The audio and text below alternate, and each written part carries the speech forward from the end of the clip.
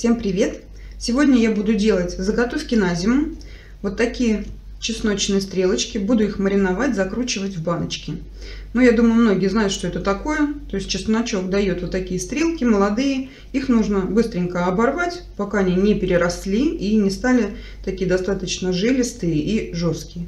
Вот у меня целый пакет. Я не знаю, честно говоря, сколько они тут по весу. Никогда не взвешивала. Но я не думаю, что это, в общем-то, сильно важно. Кто сколько сделает, столько и поест зимой. В первую очередь мы их подготавливаем. Нам нужно обрезать вот это место. То есть здесь начинается уже цветочек. Вот до беленького обрезаем. Это нам не нужно, а вот это пойдет на маринад. Теперь мы стрелочки хорошенечко промываем. Теперь стрелочки отправляем в кипящую воду. Просто обычный кипяток. Кстати, я делаю стрелочки вот такие длинненькие, целые. Если хотите, их можно измельчить, то есть просто порезать пополам или чуть помельче. Просто чтобы вам потом было удобно кушать.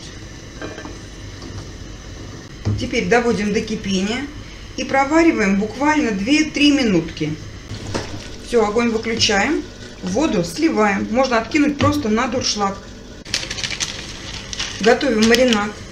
Нам понадобится душистый перчик, обычный черный перчик, всего понемножечку. Лавровый лист.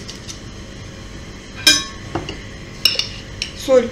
Одна чайная ложка, прям с бугорочком. Сахар. Можно 2 столовые ложки. Это все ингредиенты из расчета на 1 литр воды. Все это мы провариваем, доводим до кипения. Варим примерно 3-4 минуты. Теперь выключаем, добавляем уксус. Обычный столовый уксус 9%, 70 мл. Маринад у нас готов.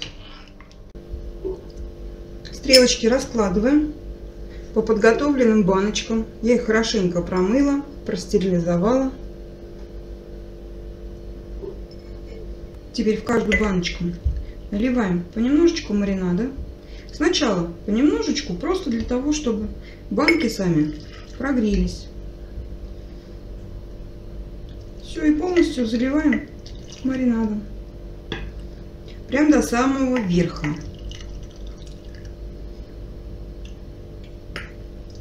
Чтобы воздуха оставалось там, ну, минимум. Прям минимум. Только вот крышечку накрыть.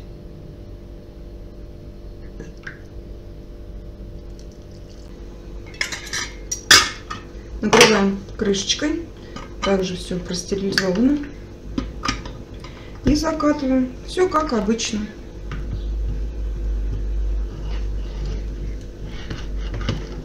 Готовые баночки нужно обязательно укутать, то есть максимально долго, чтобы они стояли у вас в тепле. Ну, как обычно это делается.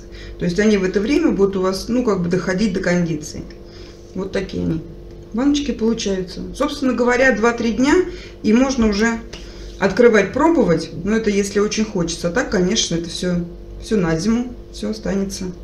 Они получаются вкусные и мягкие. Ну, надеюсь, мой рецепт пригодится. Всем спасибо, приятного аппетита. Готовьте на зиму. Пока-пока.